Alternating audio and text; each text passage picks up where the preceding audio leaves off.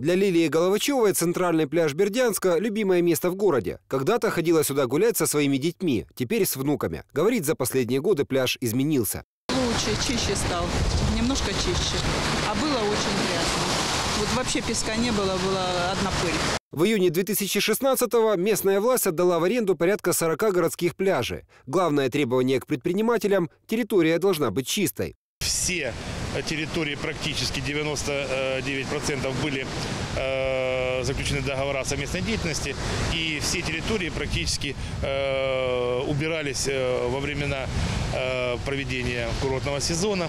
Лето закончилось, предприниматели свернули коммерческую деятельность. Сейчас пляжи, за редким исключением, не убираются. Несмотря на то, что договоры аренды заключены до конца 2016 года. Это, как бы так сказать, пробный был шар для того, чтобы понять э, саму технологию, понять, э, где мы правы, где мы не правы.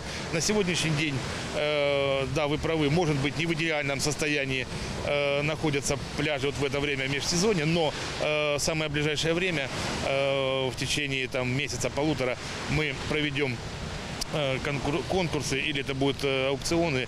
Ну, то есть э, мы определимся еще. Учитывая опыт этого сезона, городские власти будут заключать долгосрочные договоры от двух до трех лет аренды. Чтобы человек уже развивался и был, э, понятно ему было, что вот такие правила игры сделаны, они меняться не будут э, и можно спокойно работать. Это позволит требовать от предпринимателей более высокого качества обслуживания территории, как летом, так и в межсезонье. И что э, тот, который имеет собачку, был сознательным, вышел за ним и убрал. Это было похвально и э, подняло бы престиж Бердянска как курорта.